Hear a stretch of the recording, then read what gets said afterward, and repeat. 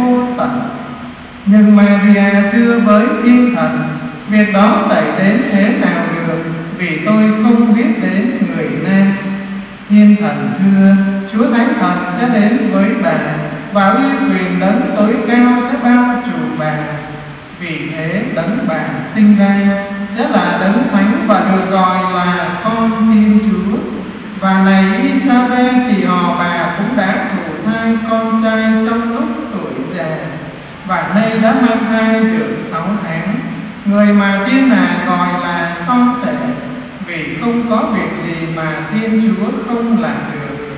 Maria liền thưa, này tôi là tôi tớ chúa. Tôi xin vâng như lời thiên thần truyền và thiên thần cáo biệt là đó là lời chúa.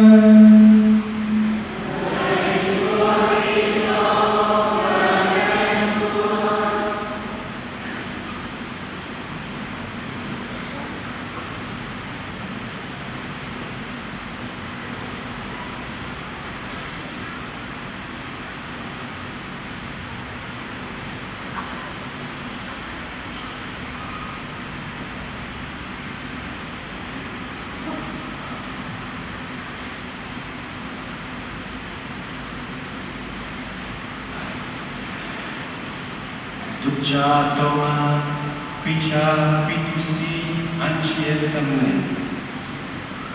The Rosary of the Virgin Mary, which gradually took form in the second millennium under the guidance of the Spirit of God, is a prayer loved by countless saints and encouraged by the teaching of the popes. Việc lần chuỗi mình tôi với Đức Trinh Nữ Maria đó là một phương thế cầu nguyện từng bước được định hình trong thiên niên kỷ thứ hai dưới sự hướng dẫn của Chúa Thánh Thần đã được vô số các thánh yêu mến và được các đức cha khích lệ trong các giáo huấn của các ngài. Simple yet profound, the Rosary still remains at the dawn of this third millennium a prayer of great significance. Đơn sơ nhưng rất sâu sắc. Lời kinh bên tôi vẫn còn là phương cách cầu nguyện quan trọng nhất trong buổi bình minh của thiên kỷ thứ ba này. The Rosary helps the spiritual journey of the Christian life to grow because it is at heart a prayer focused on Christ, although it is addressed to the Blessed Virgin Mary. Kinh bên tôi trợ giúp cho hành trình tâm linh của đời sống người Kitô hữu được tăng trưởng bởi vì cho dẫu lời kinh được cùng đọc với Đức Trinh Nữ Maria nhưng cốt lõi vẫn là để tập trung vào chính Đức Kitô. With the Rosary, the Christian, each one of us sits at the school of Mary and is led to contemplate the beauty of the face of Christ and to experience the depths of His love. Với kinh mật côi, các Kitô hữu và mỗi người chúng ta ngồi học nơi chính ngôi trường của Đức Maria và được dẫn tới việc suy ngẫm dung nhan tuyệt đẹp của Đức Kitô và đi tới một trải nghiệm sâu xa trong tình yêu của Ngài. Through the Rosary, we receive abundant grace as though from the very hands of the Mary, Virgin Mother of God. Với cái tình bình côi, các tín hữu nhận được biết bao nhiêu ân sủng qua bàn tay trợ giúp của mẹ Thiên Chúa. The Church has always attributed particular efficacy to this prayer as we celebrate today the feast of the Our Lady of the Rosary.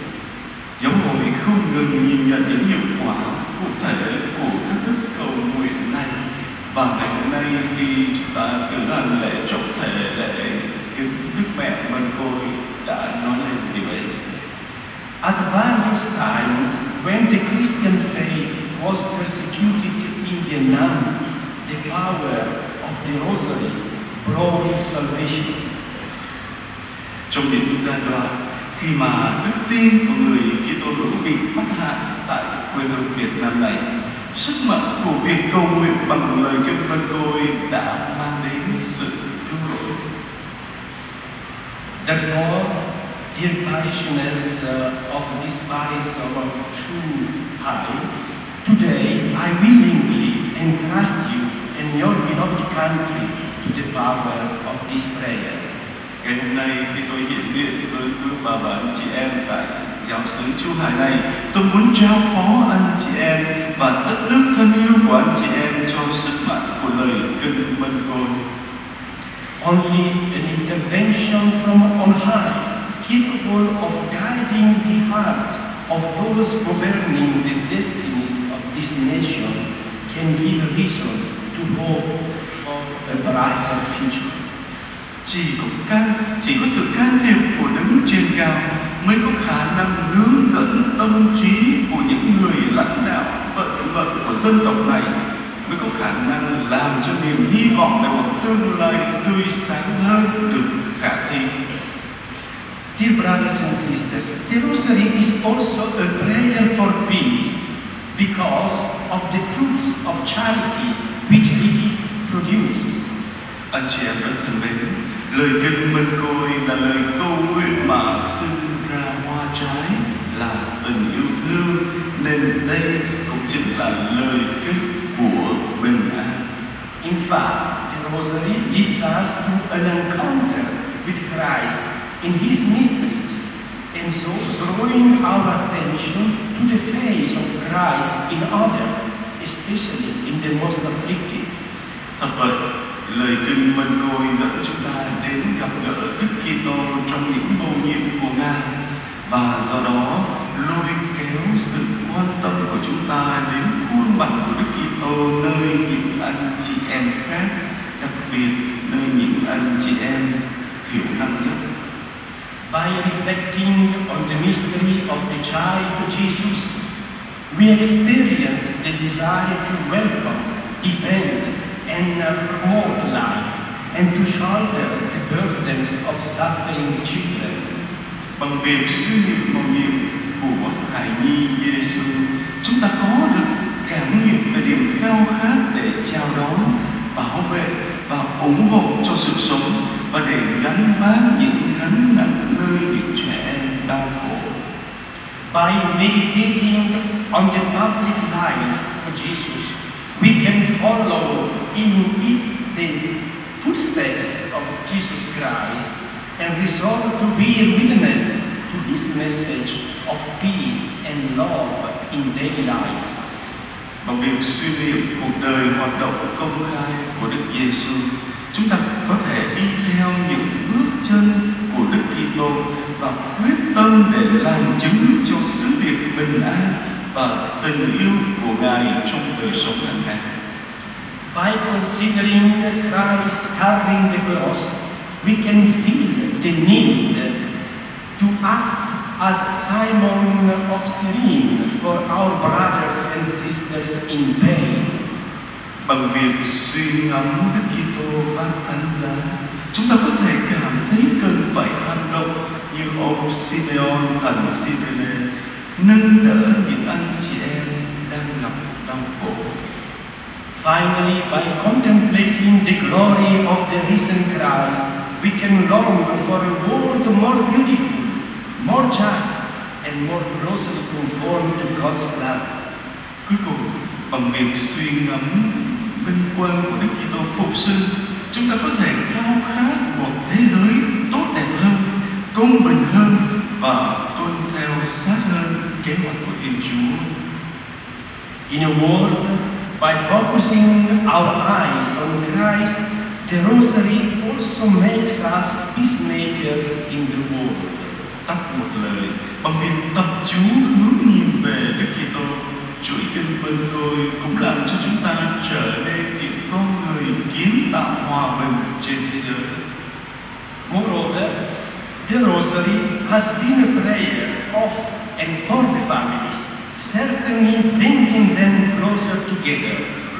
hơn nữa chuỗi mừng chuỗi kinh mừng tôi đó là lời cầu nguyện của gia đình và dành cho các gia đình chắc chắn sẽ giúp cho các thành viên trong gia đình gắn bó chặt chẽ với nhau hơn As you, as you might know, in these days, Pope Francis and many bishops are gathered in Rome to celebrate the Synod for the families.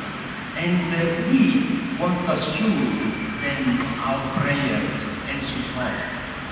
như quý bà và anh chị em đã biết ngày hôm nay ở bên Roma, Đức Thánh Cha Francisco và các nhiều giám mục trên toàn thế giới đã về Roma để mở để khai mạc thưa hội đồng giám mục về gia đình. Và các ngài cũng rất cần lời cầu nguyện cũng như là sự nâng đỡ, ủng hộ của quý bà và chị em It is important not to lose the precious inheritance to pray the rosary in the families.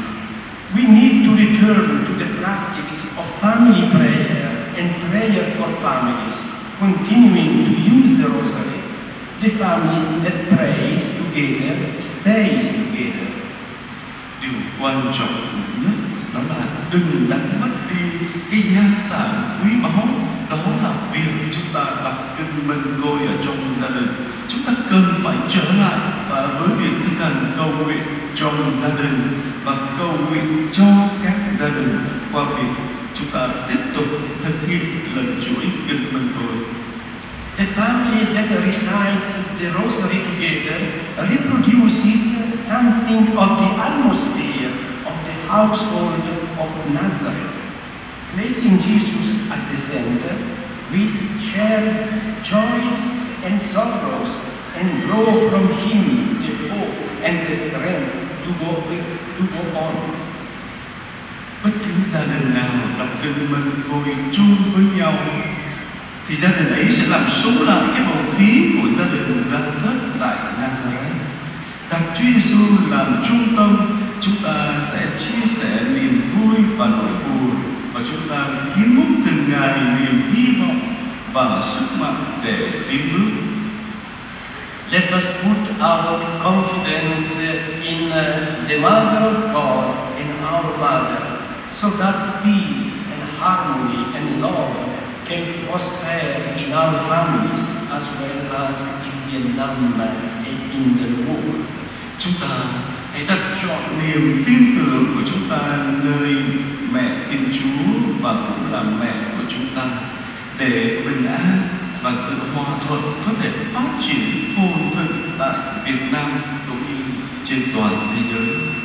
Our Lady of the Rosary, pray for us. Amen. Lạy Đức Mẹ Mân Côi xin cầu cho chúng con. Amen. Nhân giờ lời chuyển cầu của mẹ Maria, chúng ta cùng dâng lời nguyện xin hãy chăm nhắc về chi của thầy xin cho đức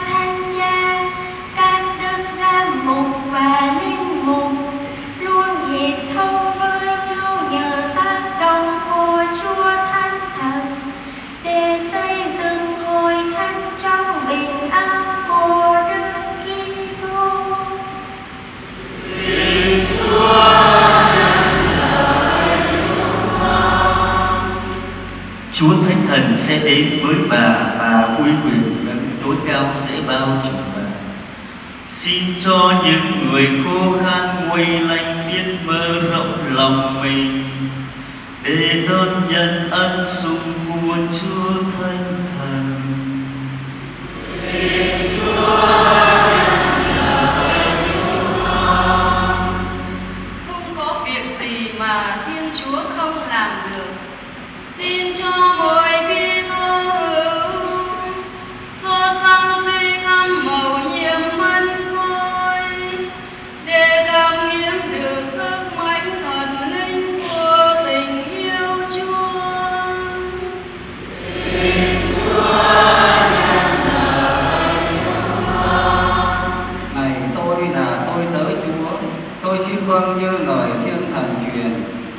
xin cho mọi người trong giáo sư chúng ta siêng năng lần chuỗi vân côi và can đảm thi hành thanh ý Chúa trong cuộc đời mình.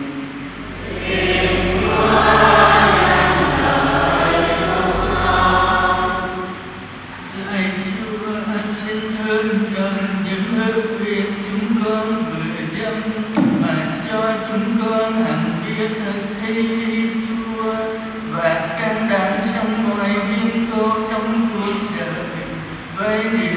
yêu con chúng con cầu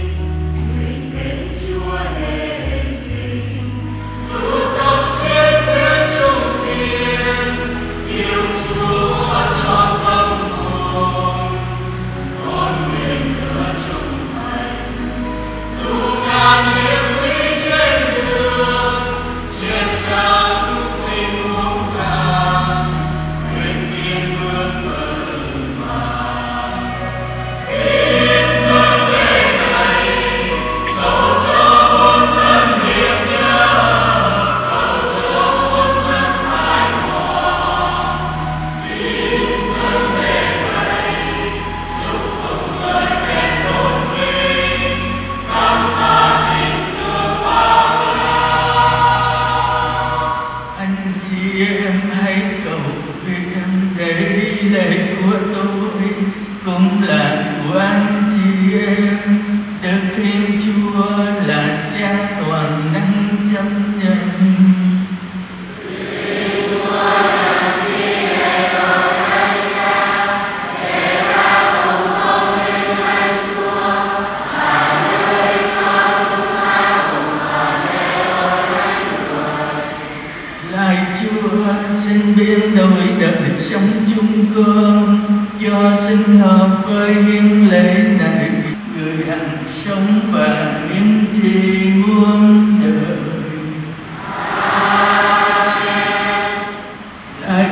good.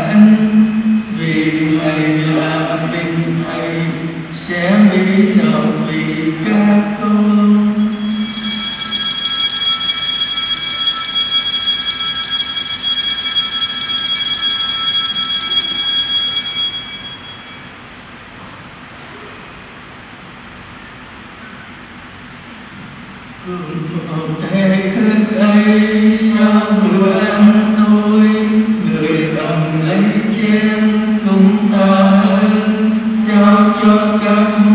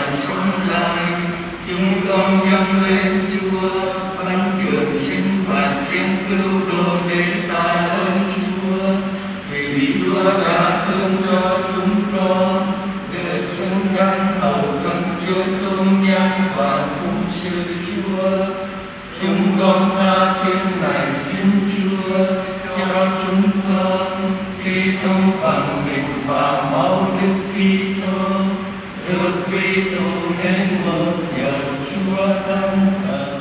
Lạy Chúa, xin nhớ đến hội thánh Chúa lan rộng khắp hoàng cầu, để kinh toàn hội thánh trong đức